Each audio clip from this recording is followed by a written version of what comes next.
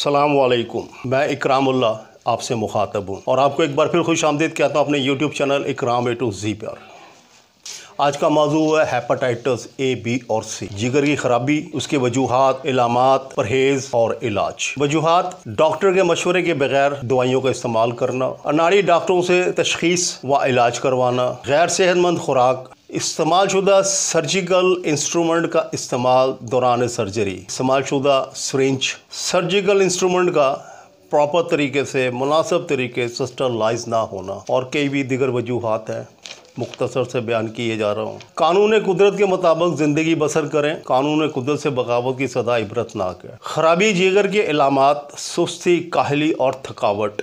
भूख का ना लगना, पेशाब पीला हो जाना, आँखों में पीला हट, पेट में दर्द और टखनों का सूज जाना। अगर वज़न ज़्यादा या कम हो रहा है तो इसकी एक वजह जिगर की बीमारी हेपाटाइटिस भी हो सकती है। परहेज़, फ्रिज का ठंडा पानी, ठंडी मशरूबात, कोल्ड ड्रिंक, कस्टर्ड खीर, पेस्ट्री वगैरह। गर्ज के बेकरी आइटम तमाम मना ममनू है इस मरीज़ के लिए, परहेज़ है। डीप फ्राई, तली हुई चीज़ें, मसलन समोसा, पकौड़े, मछली वगैरह वगैरह। और फास्ट फ़ूड, जो कि आज का शुगर कोटेड पॉइजन है। रात गए पिज़्ज़ा और कोल्ड ड्रिंक मंगवाना, इसे खाना और पीना और वहीं सो जाना।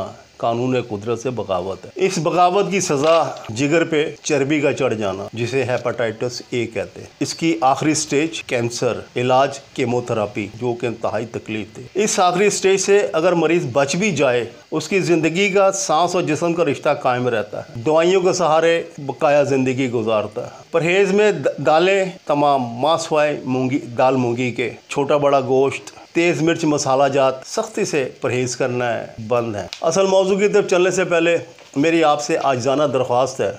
मेरे इस वीडियो चैनल को, इकराम ए टू जी को सब्सक्राइब कीजिएगा, वीडियो को लाइक कीजिएगा और अपने प्यारों में शेयर कीजिएगा ताकि वो भी इस फ़ायदेमंद वीडियो से मुस्तफ़ हो सके। कुछ लोगों का ख्याल है, हेपाटाइटिस जिगर की बीमारी ला इलाज और मौत का पैगाम है। मगर अल्लाह ताला फरमाता है, दुनिया में कोई बीमारी ऐसी ना, नहीं है जिसका इलाज ना हो। मेरा यकीन कामल है बशर्ते के मरीज़ ईमानदारी से, दयानतदारी से परहेज़ करे। न सिर्फ़ उसकी बीमारी का इलाज मुमकिन है, बल्कि चंद माह में बफजल खुदा जल्द तंदुरुस्त भी हो जाएगा।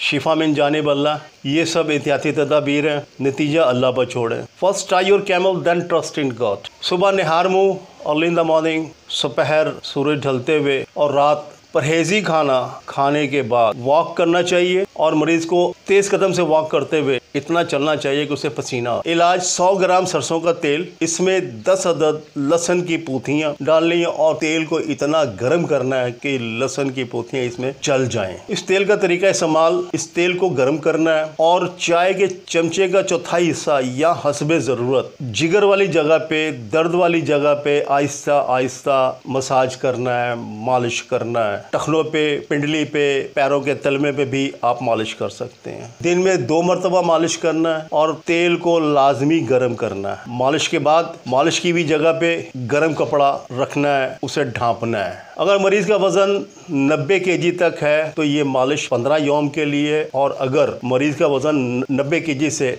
ऊपर है एबव है तो ये 30 दिन के लिए है।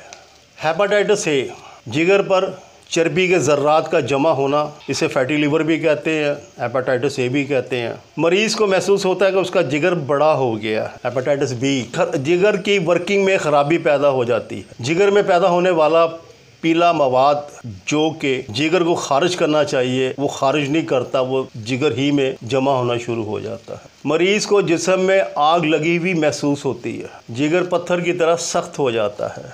जिगर को ज़रा सा दबाएँ मरीज़ को शदीद तकलीफ़ और दर्द होती है। आँखें पीली हो जाती हैं, जिसम भी पीला होना शुरू हो जाता है, हाथ पाँव आग के मानंद जलते हैं। तीसरी किस्म हेपाटाइटिस सी मरीज़ का जिगर सुंगड़ना, श्रिंक होना, छोटा होना शुरू हो जाता है। दौरान रफ़ा हाजत, खून भी आता है। गलती से अगर इस तकलीफ़ को बवासीर की तकलीफ़ समझकर बवासीर का इलाज शुरू कर दिया जाए तो हेपाटाइटिस सी के इलाज में बहुत सी पेचीदगियाँ पैदा हो जाती हैं। बल्कि गलत तशखीस से मरीज़ अपनी ज़िंदगी से हाथ भी धो सकता है।